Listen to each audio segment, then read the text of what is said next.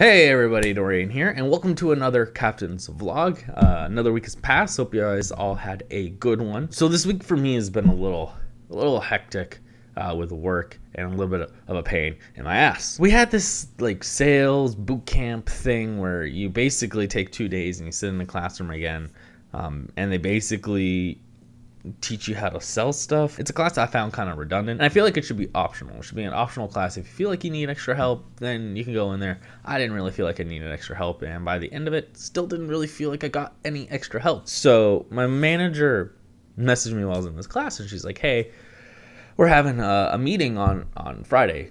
Do you want to come in? At 7.30 to 8.30, we'll pay you the extra hour that you're not supposed to be here. I was like, sure yeah, you know what? Like, I work weekends, so I never see anybody. Um, y'all have had a few meetings, and I've been not there because I don't work on weekdays, and I feel like it's gonna be an issue if I don't only show up every once in a while. So I'm like, okay, yeah, you know what? Put me on the schedule, whatever. I already had a week where I, have been working extra, so you know what? Just fucking throw it in there. It, it'll help me get up early on Friday, so at least you know I'll be up earlier. And I and I get up at like 6.30 6.45 i drive through traffic which i hate traffic especially in arizona. Um, it takes me 45 minutes to get to work. It usually only takes me half an hour um, but it's still a pain in the ass.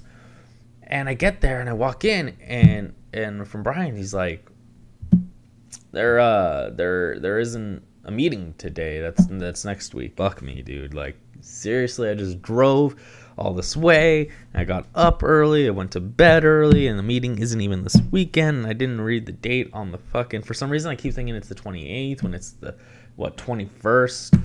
420 was just yesterday, and people wouldn't shut up about it, and I still didn't realize today was the 21st.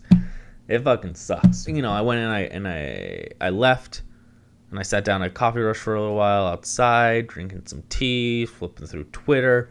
Um, that's actually where I got this idea right here. Um, we're going to test it out in this video and we're going to test it out in a couple videos sporadically and see if we can transition these captain vlogs into something a little more tangible with a little bit more oomph to it. So I'm going to be talking about some things on the vlogs aside from myself and what I did this week. So today I saw this article and I just have to go over it with you guys. Um, because this man in on eBay. This man on eBay paid fourteen thousand seven hundred dollars um, for some of that Mulan Szechuan sauce from fucking Rick and Morty, and it is wild, dude. So wild, my glasses went on sideways. Okay, it looks over here that um, the seller. So seller says uh, I just bought a really old car. While cleaning it, I found a packet of this sauce. After watching the recent episode of Rick and Morty, I went online to see if it was worth anything. Turns out it was. I hope somebody who wants to eat some 20 year old gnarly sauce gets this.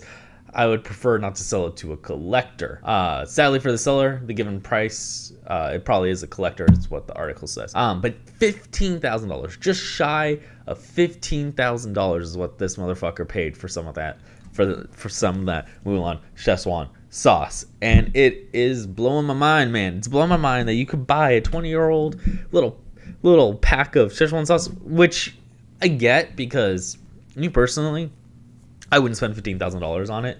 Um, but even if they bring it back having that original Szechuan sauce would be fucking great. And now I wish I had some of that but obviously like I wasn't you know driving in 1997 or 1998 or whenever that came out. But I know. I just thought that was wild. I had to share that with you guys because it's fucking crazy. It's fucking crazy that he he would have sold. He would have bought it. That somebody could even sell it for that. Like it's fucking wild. And yeah, so that's that's about the vlog for today.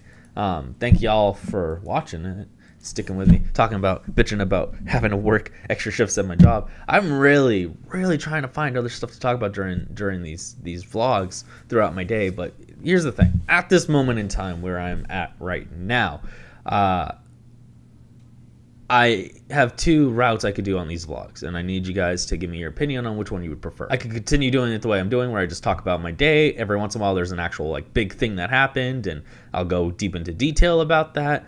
Otherwise, I'm just rambling off what's in my head. The other option is that I spend the week researching things and finding things to talk about, and finding like one one thing that happened to talk about him basically just talk about it kind of like philip defranco i guess even though i don't really watch him that much. I watched one video of his. Yes so i don't know exactly where you guys are at with the vlogs. I know where i'm at with the vlogs and like i enjoy them. Um, i know you some of you guys enjoy them. Um, but let me know which route you want to go on that because i feel bad because i feel like they don't have a lot of material for you guys. And and where i am in my life right now of uh, i work and i do youtube I don't really have a lot of things that I do to talk about in these vlogs, except I do and I forget about them. I just went out to a birthday party the other day. Uh, I haven't been belligerently drunk in a long time, and I didn't get quite belligerently drunk this time, but I got drunk enough that it was exciting. We went to Dos Gringos. Um, we had a giant Jenga, and that was wild. And it's, honestly, for those of you guys that have a Dos Gringos nearby, I don't know if they're national, if they're just in Arizona, but get their nachos because their nachos are so fucking good. So fucking good. Like some of the best nachos I ever had. They were carne asada nachos, and oh my god, they were good. And not just because I was drinking, they were just good. They were just good nachos. Oh, I want those nachos now. Fuck. Okay.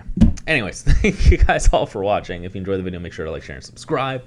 Other than that, I hope you all have a wonderful day, and I'll catch you all in my next video. Later.